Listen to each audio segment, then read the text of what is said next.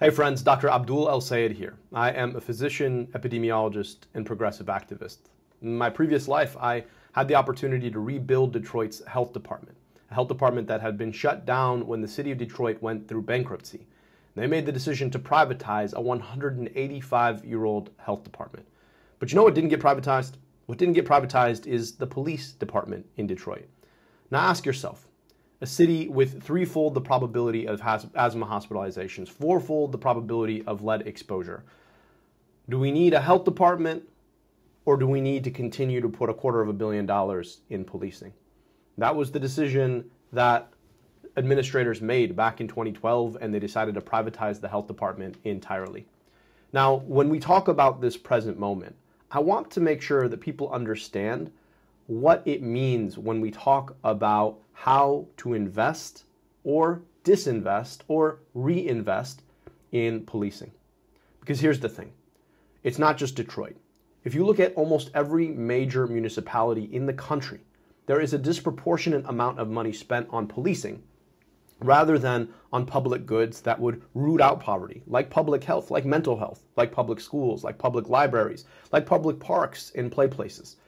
And you ask yourself, why are we investing so much in people with guns and less in people with the means of being able to invest in young folks, empower folks through their livelihoods, and empower them to live their best lives? And when we talk about where we go from here, after having watched the brutal assassination of Breonna Taylor in her home, George Floyd on the streets of Minneapolis, the question becomes why is it that we're invested so much in people with the means of killing rather than investing in people with the means of giving life. And so, as we think about what we want, as we think about rooting out systemic racism, the question we have to ask ourselves is where do we put our money?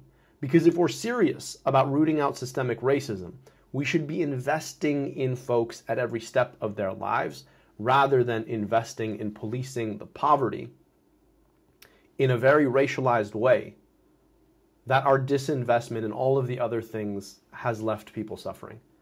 And so this is the question. Now, I'm an epidemiologist and I think about what's best for people's health.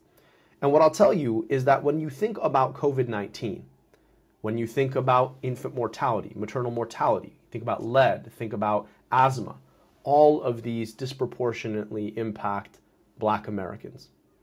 And when we talk about systemic racism, it is about asking how has racism wrapped itself around the decisions that we make about where we invest.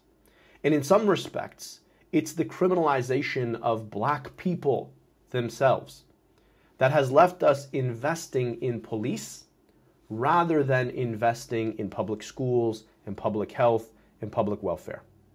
And if we want to root out that racism, it means we have to change the way we invest entirely. But it also means that we have to rethink how we invest and why we invest. Because the concept of the public to me is a really sacred thing. The beauty of our democracy is that we get to make choices about who our public leaders are, who is making decisions about where we spend and how we spend when it comes to that public good, the money that we all pay in for a government that is supposed to sustain us equally. And we know that it's not doing that. So, as we think about this, take that word public and ask yourself something. What does it mean that an officer who was sworn to protect the public safety put his knee on the neck of a man for 8 minutes and 46 seconds? What does it mean about how he saw that person? Does he include that person in the concept of the public that he was supposed to protect? Or does he include that person as one of the things from which the public is supposed to be kept safe. But it's not just public safety that black folks have been excluded from, it's also public health. COVID 19 took two and a half times as many black lives per capita as it took white lives in America. And so we've seen that black folks have been excluded from the public in public health as well. Think about public education and the disproportionate defunding of black schools and black school districts.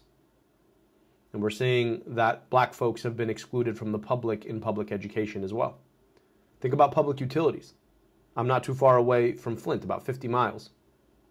And in Flint, the state government made a decision to change the water source to save a couple of bucks, poisoning 9,000 disproportionately black children, 100,000 disproportionately black people. The state itself noted that systemic racism was part of the causal architecture of that choice that poisoned kids in Flint. So even when it comes to public utilities, black folks have been systematically excluded.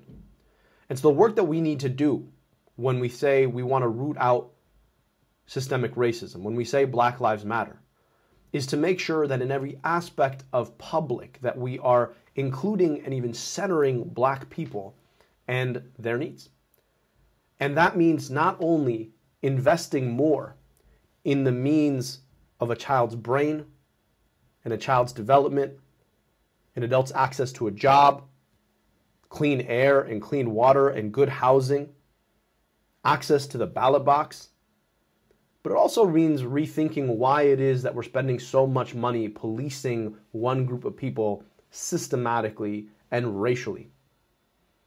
And so we have to ask ourselves do police departments really need tanks and weapons of war and the materiel that's coming back as hand me downs from the military abroad? Do police really need to use guns? Do we need as much of a police force? And so, if we ask ourselves about how we spend money in the public, where that money goes, where it comes from, we need to make a lot better decisions about investing in the things that root out poverty rather than investing in policing poverty. And we need to understand that these are racialized questions because of systemic racism. When we make a choice to invest in policing in a majority black community rather than to invest in public schools, that choice is influenced by systemic racism. And so we need to take that on, we need to root it out, and we need to be investing in people in the communities in which they live, learn, work, pray, and play, rather than be investing in policing them in those communities. And when we talk about the question of quote unquote defunding the police, it's a question of asking how do we right size government away from the racist ideologies that have led us to investing in war materiel for policing rather than public health for children.